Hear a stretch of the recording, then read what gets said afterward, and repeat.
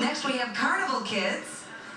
And you look like you're ready for the carnival. It looks like you're ready to go someplace tropical. Tell us a little bit about your involvement here tonight telethon.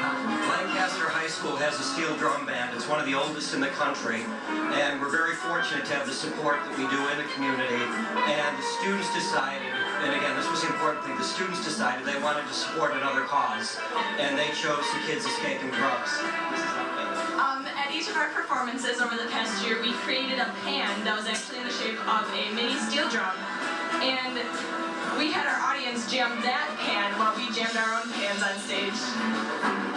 We also had help from one of our CKSO dads, Mr. Al Runkle. He ran in the Buffalo Turkey Trot, and he got sponsors from some of the other kids in the group and from around the community. Really helped out. So on behalf of the Lancaster High School Carnival Kids Steel Orchestra, we'd like to present this check for $1,700 It's very impressive. Thank you so much. It really makes a difference. We appreciate the help tonight. Thank you so much for being here.